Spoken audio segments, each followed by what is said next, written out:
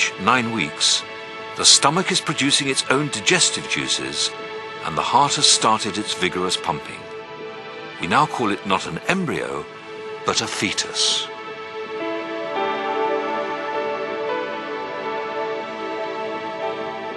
But the name change doesn't mean its future is any more assured. The risk of failure still accompanies each new development.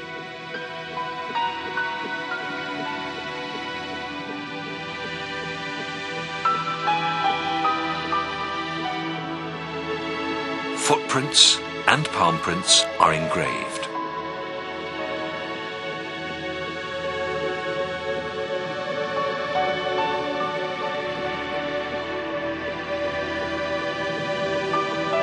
All the time, the work is fueled by the supply line, the umbilical cord linking the fetus to the mother.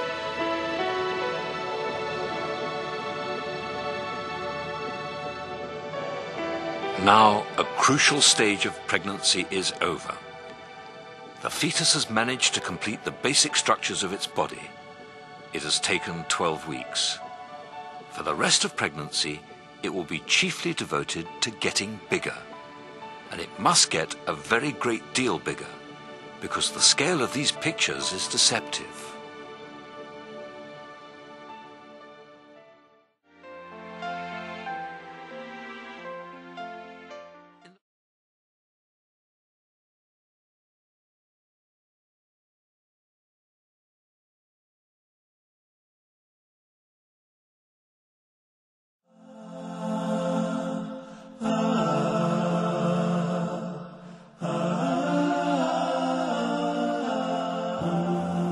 And those to whom knowledge has come, see that the revelation sent down to you from your Lord, that is the truth, and that it guides to the path of the exalted in might, worthy of all praise. The Noble Quran, chapter 34, verse 6. The Quran calls people to worship only one God, the creator of everything. Say, He is Allah, the one and only. Allah, the Eternal, Absolute, He begets not, nor is He begotten, and there is none like unto Him.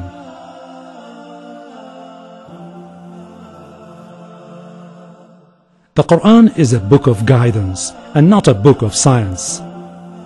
It is just a proof that it was revealed from the one Creator who knows everything about us.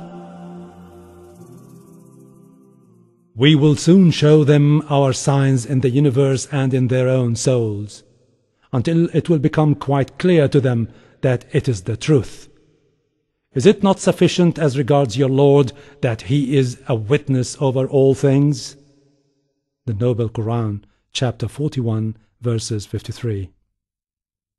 The Quran mentioned many scientific facts, like the origin of the universe and how it came into existence. This included facts related to how it began and facts related to how it will end. Like the theory of the Big Bang, for example, and that everything came into existence after it, and our Earth was one of these structures that were formed from this Big Bang. Such kinds of theories were way beyond our reach 1400 years ago, and it is only now that science has begun to unravel some of the facts surrounding the creation of the universe. However, the Quran mentioned that our earth was part of the skies and then became separated from it. Allah says in the Quran, Have not those who disbelieve known that the heavens and the earth were joined together as one united piece? Then we parted them and we have made from water every living thing. Will they not then believe? The Noble Quran, chapter 21, verse 30. And the Quran mentioned that our space is expanding. That's because after the Big Bang, every planet and star is moving away from each other. Allah says in the Quran, With power did we construct the heaven Verily, we are able to extend the vastness of space thereof. The Noble Quran, chapter 51, verses 47. And the Quran mentioned that all the planets are running in an orbit, and the sun is running to its resting place. That resting place is the translation of the Arabic word mustaqar, which indicates an exact appointed place and fixed time. According to modern astronomy, the solar system is indeed moving in space at a rate of 12 miles per second towards a point situated in the constellation of Hercules Alpha Lyrae, whose exact location has been precisely calculated. Astronomers have named that mustaqar the solar apex. Allah says in the Quran, And the sun runs on its fixed course for a term appointed. That is the decree of the Almighty, the All-Knowing. The Noble Quran, chapter 36, verses 38. And that our universe will end by rolling together like sheets or records. Allah says in the Quran, And remember the day when we shall roll up the heavens like a scroll rolled up for books.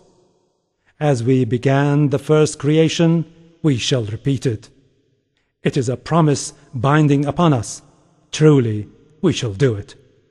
The Noble Quran, chapter 21, verses 104.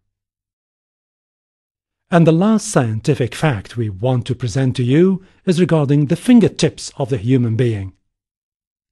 The Quran mentioned that every human has a unique fingerprint, and it is used as a very important method of identification around the world. But what is even more amazing is this feature of the fingerprint was only discovered in the late 19th century. Before then, people regarded the fingerprints as ordinary codes without any specific importance or meaning. However, in the Quran, God points to the fingertips, which did not attract anyone's attention at that time, and He drew our attention to this important matter, which has now only been understood in our age. Allah says in the Quran, Does man, a disbeliever, think that we shall not assemble his bones? Yes, we are able to put together in perfect order the tips of his fingers. The Noble Quran, chapter 75, verses 3 and 4. There are still many scientific facts in the Quran for any knowledgeable individual or scientist to explore, like it says in the Quran. And those to whom knowledge has come See that the revelation sent down to thee from thy Lord, that is the truth, and that it guides to the path of the exalted in might, worthy of all praise. The Noble Quran, chapter 34, verses 6.